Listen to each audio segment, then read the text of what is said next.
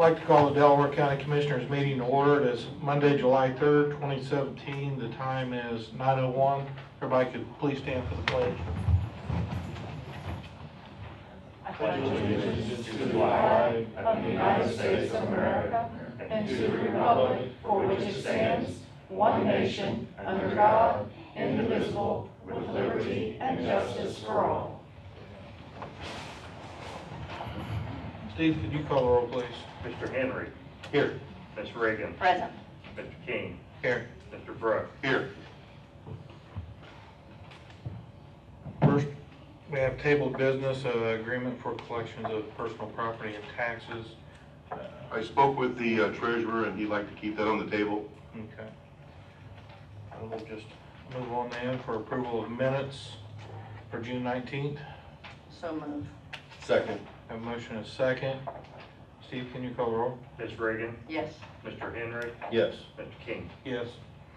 We have presentations to commissioners, applications for EDIT funds. Uh, Have anybody here from Urban Light? I am Joy Rediker, I'm the Executive Director of Urban Light CDC.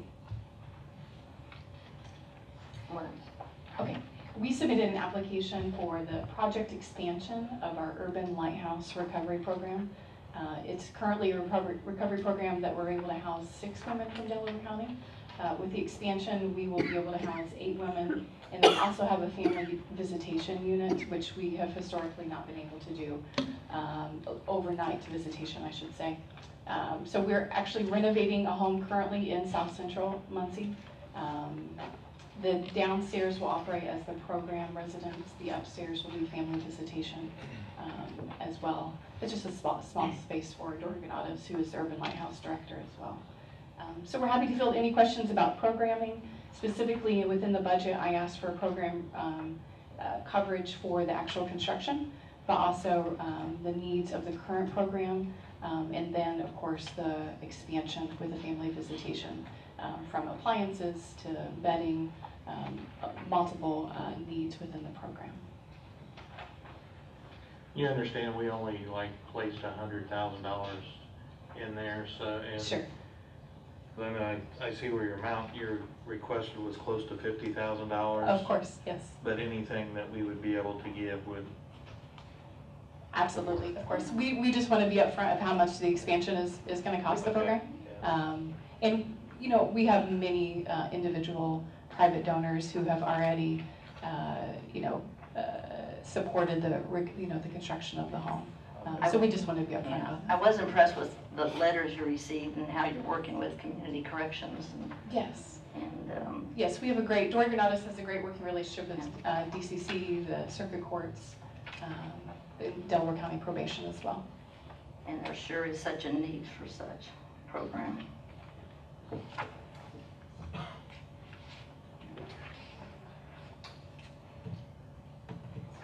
I would make a motion that we uh, approve ten thousand dollars to go towards their program.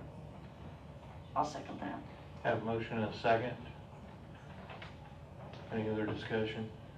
Steve, can you call the roll, please? Mr. Henry, Yes, Ms. Reagan, Yes. Mr. King. Yes. Thank you for what you're doing. Thank you Thank for you. everything. Hope this helps it. you get Thank you good so much, start. appreciate it. Thanks for coming. Next, we have an application for county EDIT funds from the Boys and Girls Club of Muncie. My name's James Mitchell. I'm the board president for the Boys and Girls Club of Muncie.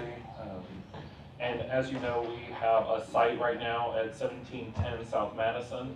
Uh, Starting this fall, that will become a teen center, 9th through 12th grade, um, dedicated programming from 2:30 or 3 PM until 8 PM that, um, while we move the rest of our programming across the city into schools.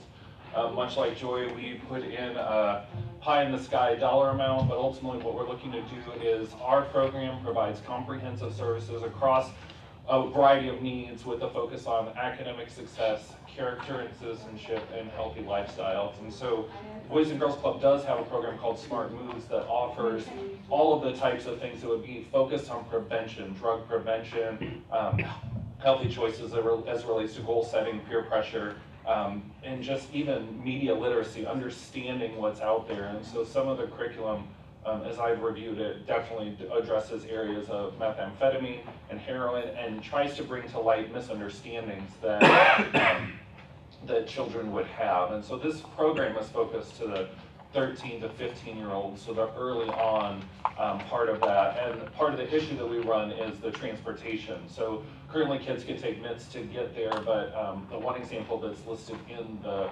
proposal was a student that's out in Yorktown who wants to be able to come.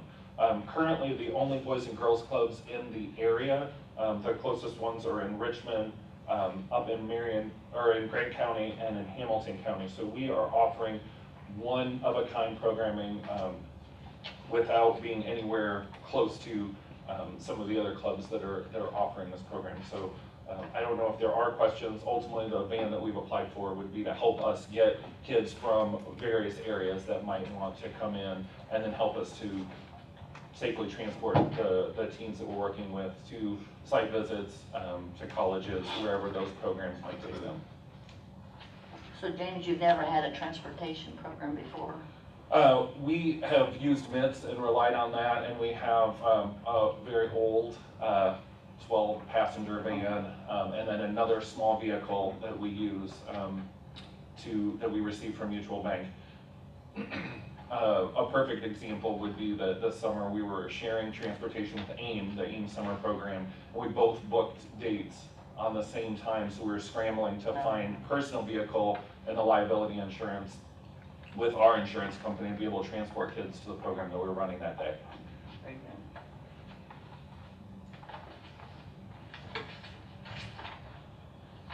Well, I think that um, some of the individuals that I've heard speak about the uh, drug problem we have right now, um, you know, the funding and everything kind of went away for some of these um, programs to reach out to these younger kids in schools.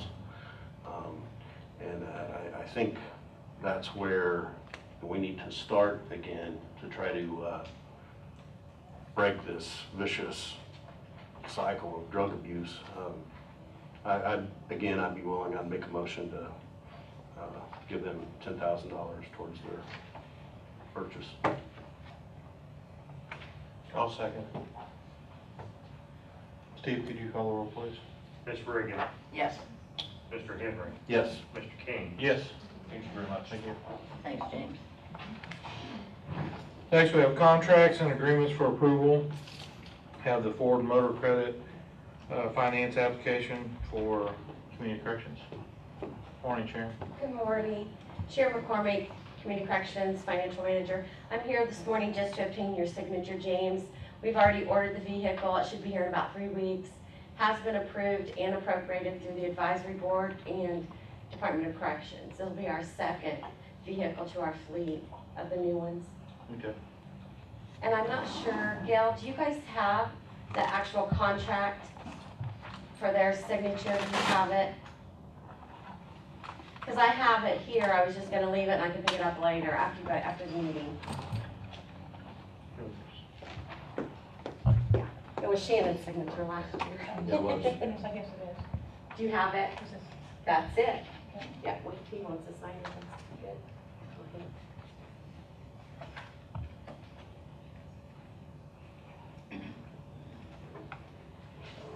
The one vehicle you guys purchased already, it uh, looks very nice, and I'm- I'm glad it's, uh, it's marked as well. Yeah, So you yeah. can see who it is. Get a copy too. Yeah. Do I get a copy?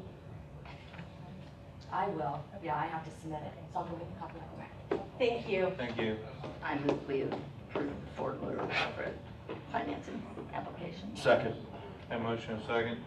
Steve, call the roll, please. Mr. Henry, Yes. Ms. Reagan. Yes. Mr. King, Yes. Next, we have a contract for Bell Road South, supplement number three.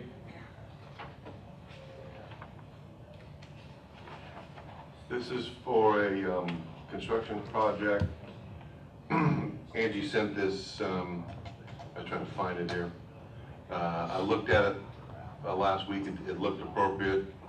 Um, it had the uh, dollar amounts that they'd agreed upon. And so I would recommend that this was approved. I'll make a motion, we approve the contract. Second. Have a motion and a second. Steve, can you call the roll? Mr. Henry. Yes. Ms. Reagan. Yes. Mr. King. Yes. Next, we have the warranty deed for Bridge 141 Tiger Drive over White River. This is a deed um, for the construction of Tiger Drive that uh, Angie has requested uh, to keep that project on task uh, to work on that bridge. It need, would need to be approved by the commissioners. I'll make a motion, to approve. Second. Have a motion and a second. Steve, can you call the roll, please? Ms. Reagan. Yes. Mr. Henry. Yes. Mr. King. Yes. Next, we have ordinance for second reading, ordinance number 2017-014, ordinance amending section 183 of Delaware County Code of Ordinances. This is an ordinance for, um, start out, as I said last time, with uh, some checks that were not honored for uh, some insurance benefits or insurance proceeds, so, not proceeds, but to purchase insurance for people off, so we decided that the county needed a bad check policy for bad checks that they get. Di- Didn't we pass one that the, the auditor was in favor of, or Steve Ewan, or? I was thinking there was one that, one way that we did it, I thought one was passed a few years back when I was clerk. yeah. I Is don't this an remember update doing to one. that? I don't remember doing one recently. I think this one repeals some or changes some. It does, it affects the, i- i- it's to update the check or, or uh, ordinances for checks. Rick was having an issue with checks coming in for insurance that weren't being honored, and there wasn't a mechanism for, So it just, the other one wasn't covering the. right, was not covering that. Okay. I'll make a motion, we adopt ordinance 2017-014. Second. Have a motion and a second. Steve, call the roll, please. Mr. Henry. Yes. Ms. Reagan. Yes. Mr. King. Yes. Next, we have ordinance 2017-015, ordinance repealing and restating policy concerning health insurance benefits for current and retired employees of Delaware County. This is an ordinance, uh, the commissioners, the first year, adopted a policy about retirees insurance and made significant changes to that program. Um, This is an ordinance to clean up that and to reflect the policy of the commissioners. The commissioners had adopted in prior administrations certain ordinances, and we're cleaning that up so that reflects the current day's um, policy. I'll make a motion, we- we adopt ordinance number 2017-015. Second. Motion and second. Steve, can you call the roll? Ms. Reagan. Yes. Mr. Henry. Yes. Mr. King. Yes. Next, we have ordinances for first reading, ordinance number 2017-016, ordinance establishing Delaware County Sheriff's JAG grant. Hi, Greg Ellison with the Sheriff's Department. This is the uh, same JAG grant that we do every year. We share it with the city. It's for special overtime. Um, Mr. Brook and myself thought that he fixed the ordinance so we wouldn't have to get a new one every year. But then when I went to Gail and Donna, they said, no, being that the fund number changes, the grant number changes, and the amount changes, we got to get a new ordinance every year. I move we adopt ordinance 2017-016. Well, this is just for introduction purposes. Oh. Okay. Make a motion. to Make a introduce. motion to introduce. I'll second it. Sorry about that. Have a motion and second. Steve, can you call the roll? Mr. Henry. Yes. Ms. Reagan. Yes. Mr. King. Yes. You need all this. Just need a wrapped print up today. Would you Um, be happy, Gail? If we want to do another one, that's fine, or you can approve it today. Well, we'll have to suspend the rules, or if it can wait another two weeks. It can wait another two weeks. Okay. Okay. Yep. Thank you very much. I have ordinance number 2017-017A, ordinance amending section 181 of Delaware County Code of Ordinances regarding copy fees. Melanie Marshall, Delaware County Recorder. And it actually has more to do with bulk fees, and this came about because of Senate Enrolled Act 505 that took another look at all of the recorder's fees, and those were all updated um, statewide and approved and went into effect July 1st. So this is just to kind of clean up, and we are required to have an ordinance for how we provide bulk fees and what our bulk fees, um, how we calculate those. I would recommend that you um, introduce this. There's some um, things that Melanie wanted to check with the contract on the bulk fees.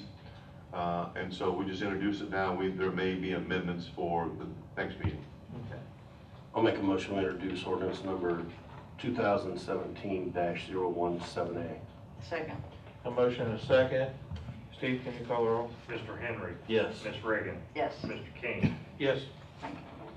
Next, we have department heads and elected officials. We'll move on to monthly and weekly reports. Everybody received the reports from Weights, Weights and Measures. Yeah, thank you. Move to payment of claims in the amount of six million, seven hundred seventy-five thousand, eight hundred seventy-four dollars and eighty cents. So moved. Second. Have a motion, and a second for payment of claims. Steve, can you call the roll? Ms. Reagan. Yes. Mr. Henry. Yes. Mr. King. Yes. Have any comments, questions from the audience? I'll put on my different hat, Yeah. uh, Delaware County Fair Board member. Uh, This is your last meeting before the fair starts, so we would love to invite you all out to come and enjoy the fair and the festivities, and especially the food. Thank you. Good job. Anybody else?